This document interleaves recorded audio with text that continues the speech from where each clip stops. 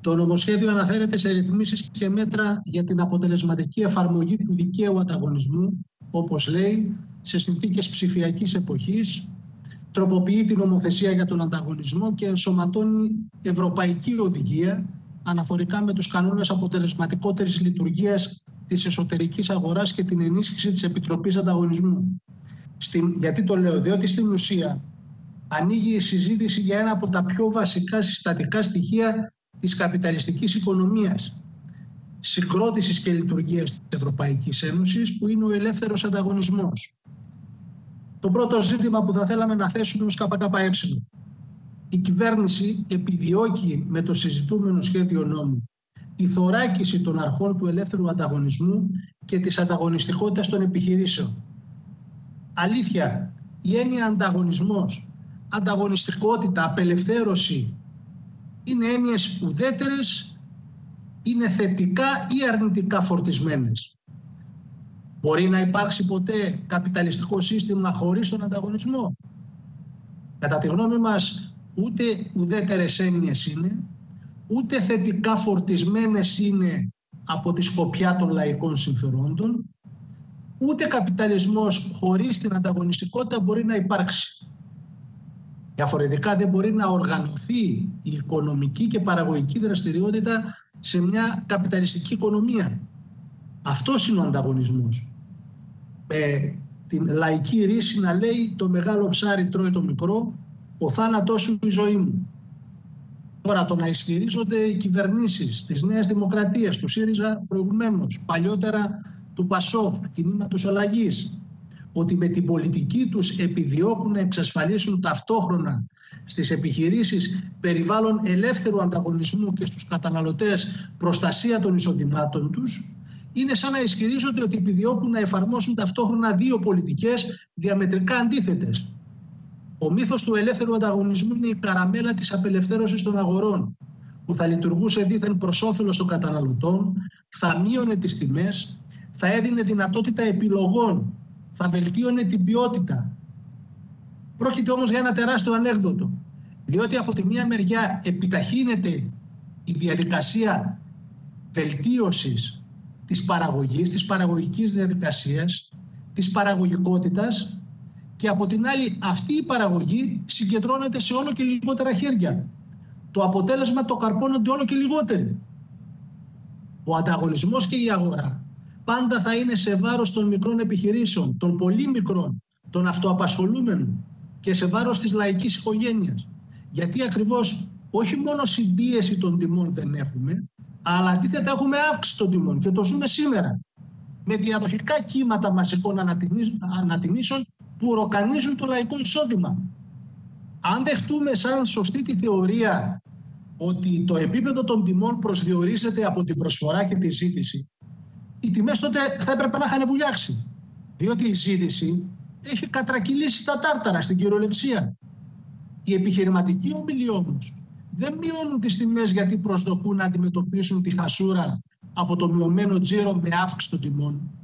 Κανένας υγιής ανταγωνισμός, κανένα παρατηρητήριο τιμών, και το λέω για να θυμηθούμε τι έλεγε και παλιότερα το Πασό, κανένα κίνημα καταναλωτών δεν μπορεί να αντιμετωπίσει το πρόβλημα της ακρίβειας.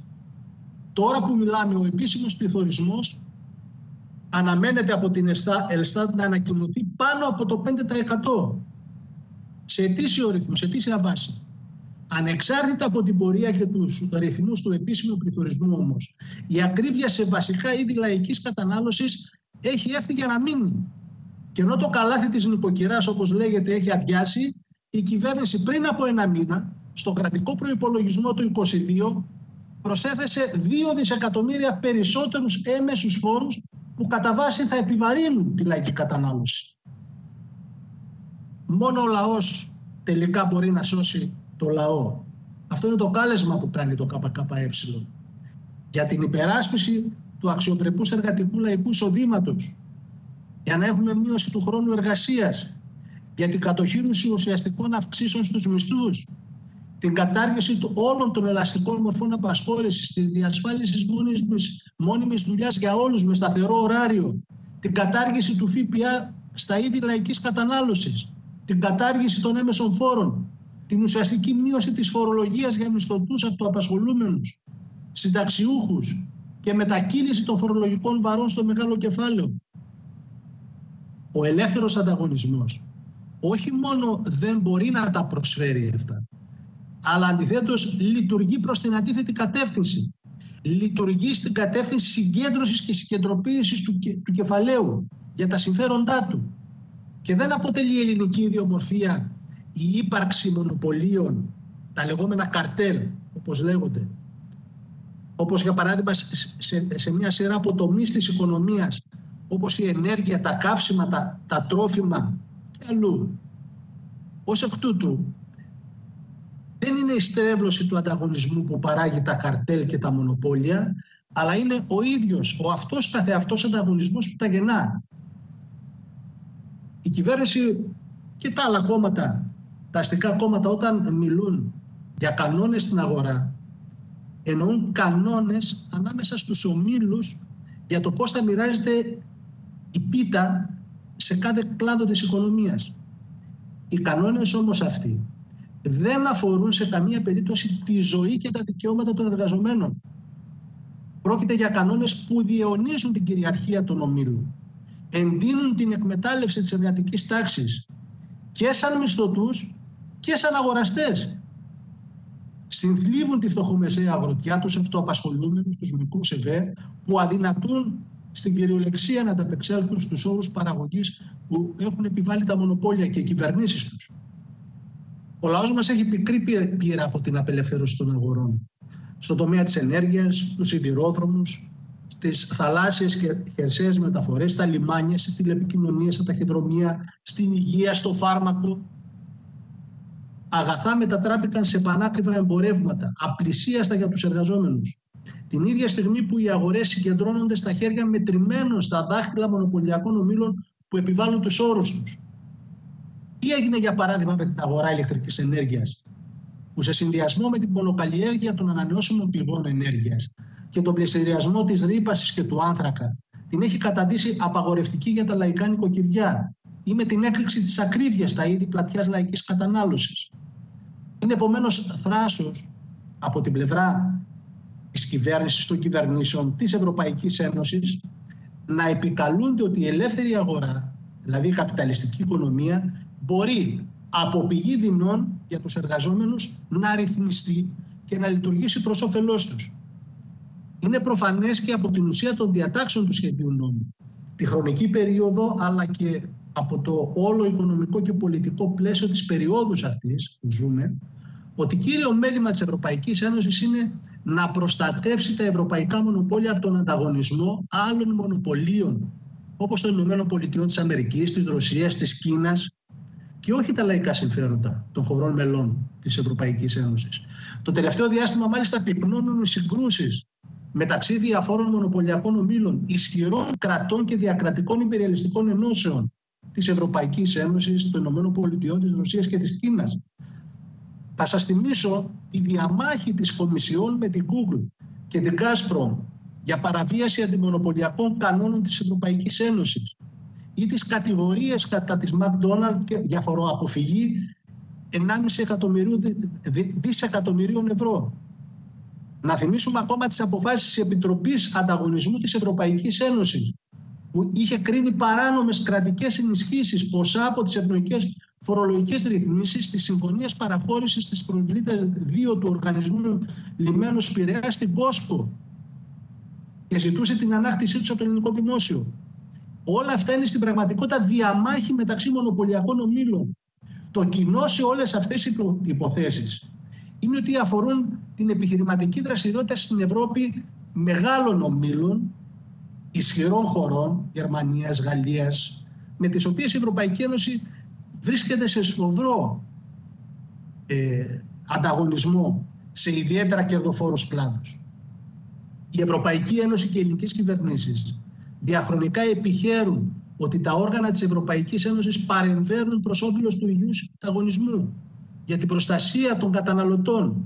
Προφανώς πρόκειται για ένα πολύ μεγάλο ψέμα, διότι η αποστολή της Ευρωπαϊκής Ένωσης είναι να διασφαλίσει την κερδοφορία των ομίλων και τη θέση τους στον αδυσόπιτο παγκόσμιο ανταγωνισμό.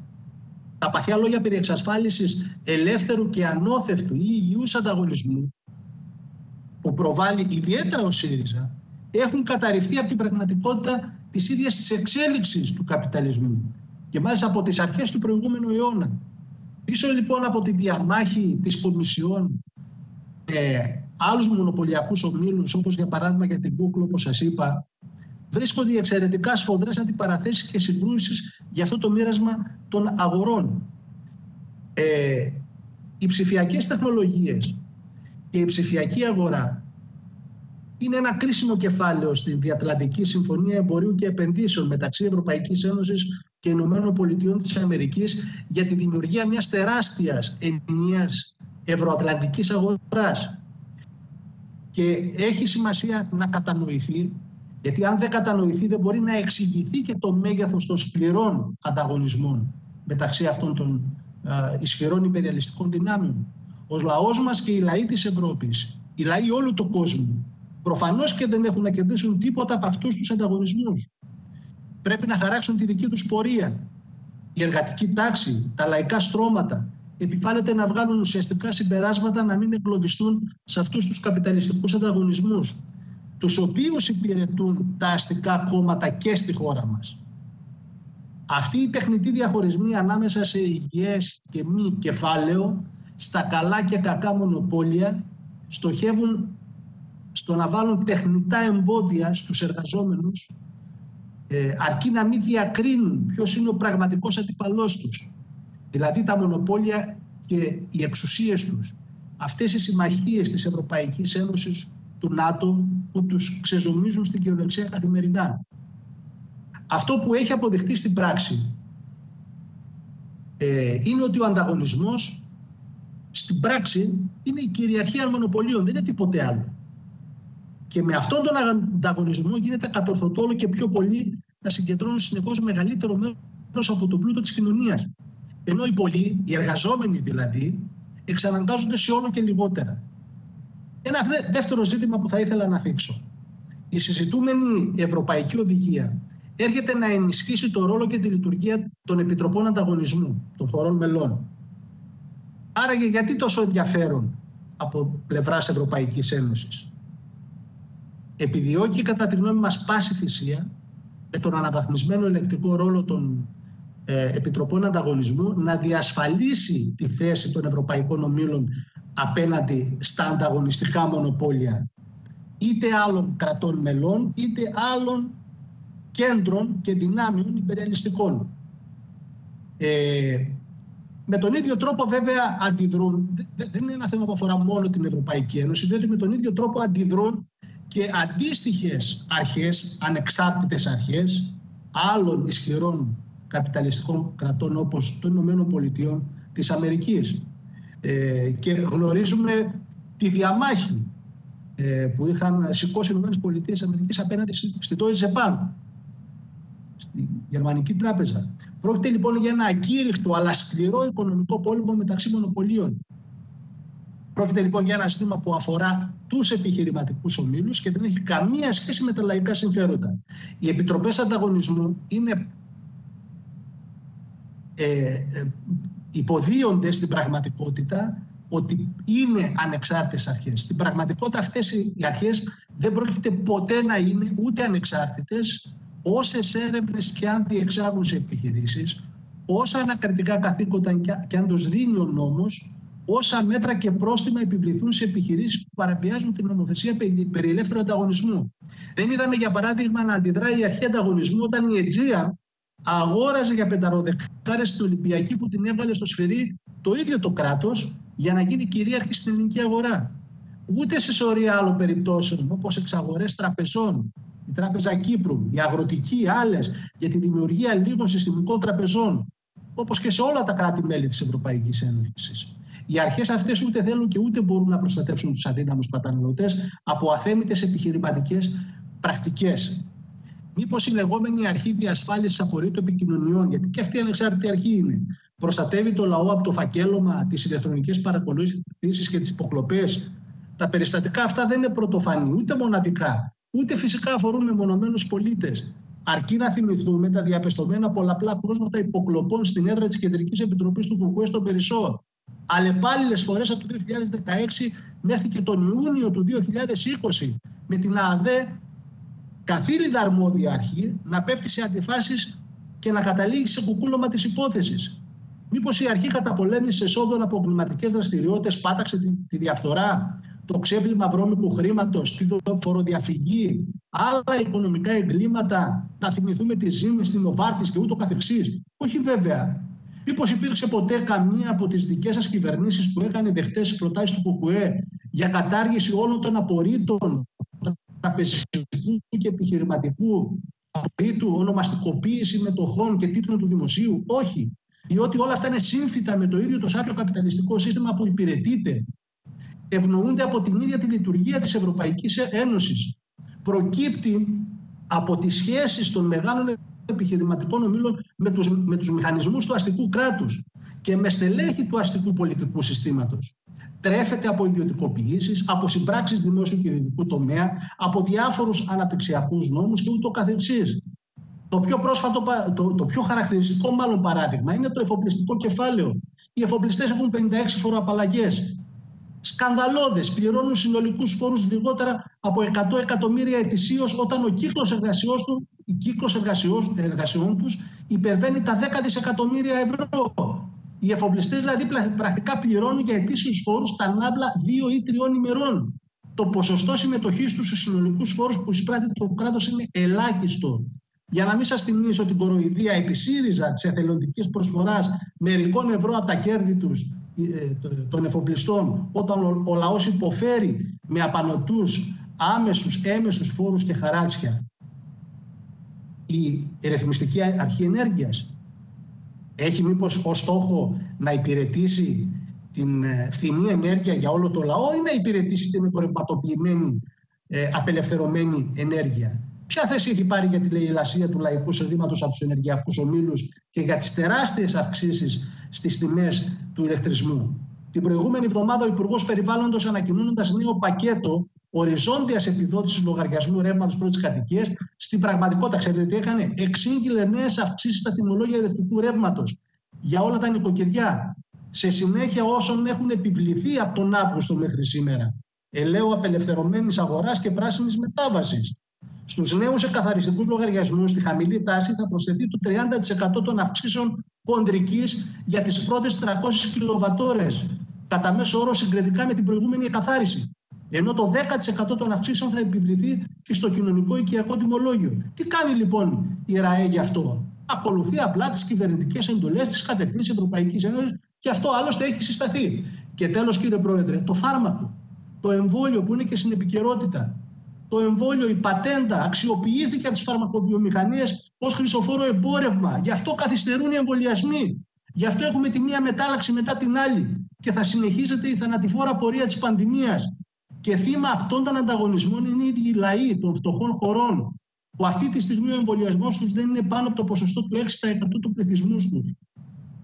Α μας πει κάποιος πότε, πού και ποιος έβαλε φραγμό στους φοβρούς εγκληματικούς ανταγωνισμούς των φαρμακοβιομηχανιών που κέρδισαν 3 εκατομμύρια δολάρια.